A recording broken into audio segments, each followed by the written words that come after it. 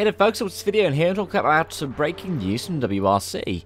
That is, a Rally Japan has been dropped as the final round of the season, November 19th to 22nd, and it has been replaced by Rally Ypres in Belgium. And it's a shame that Japan's not going to be on the calendar. It was meant to be returning after, what, a 10-year hiatus? But the inclusion of Ypres is going to be pretty cool. I mean, it's been one that I've wanting, been wanting to see the WRC for years.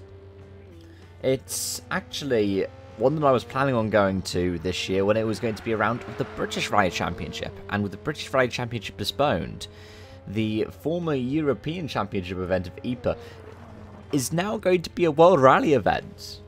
That's that's brilliant. At the same time, even though it's a shame that Japan has been dropped, at least it's being replaced by another tarmac rally. Uh, this is something that I'm very strong believer in. Uh, I think Elfyn Evans also says something quite similar. The WRC needs more tarmac events. When I first got into watching the WRC, which was 2003, well, we never really count Monte Carlo as a pure tarmac event. Uh, but we did have Germany, we had Corsica, we had Spain, we had San Remo.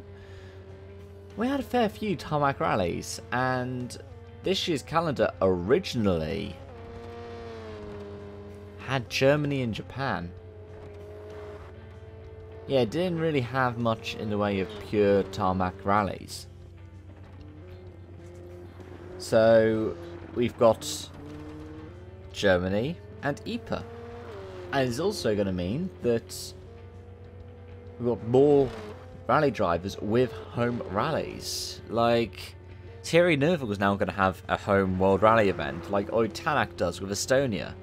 And I'm sorry, that that's just amazing. That's wonderful. We get more and more of people going to countries because it represents the It's A bit like how, for example, Rally Catalunya first happened because of the reputation that Carlos Sainz had.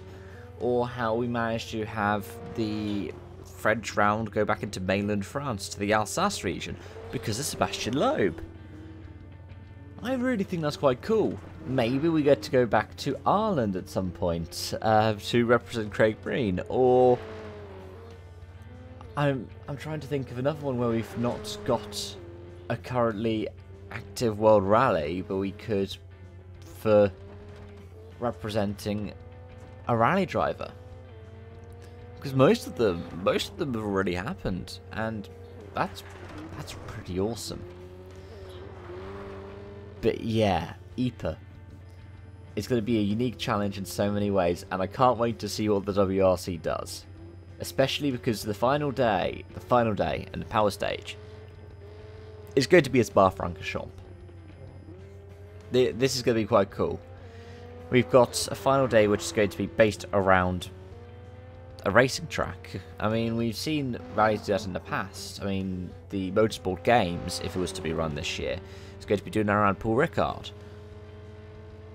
I can't wait to see what happens. I really can't. And, I mean, it's a shame we're not going to get to Rally Japan, and it's a shame that it means that six of the eight rounds of this season's WRC will have taken place in Europe.